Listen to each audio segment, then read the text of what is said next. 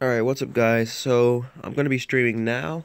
I thought I'd be able to stream on YouTube, but I'm not. So, as you see, bottom left corner, I'm going to be streaming on Twitch. So, if you have the app, what you would do is, click on the app, go to these three lines, search up, ace, underscore, 88, 8, I forgot there's three eights.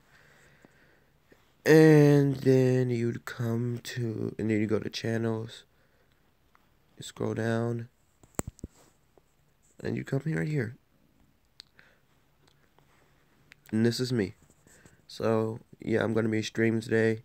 I'm to stream, uh, hmm, might, maybe some Black Ops. Uh, I'm going to stream Xenoverse.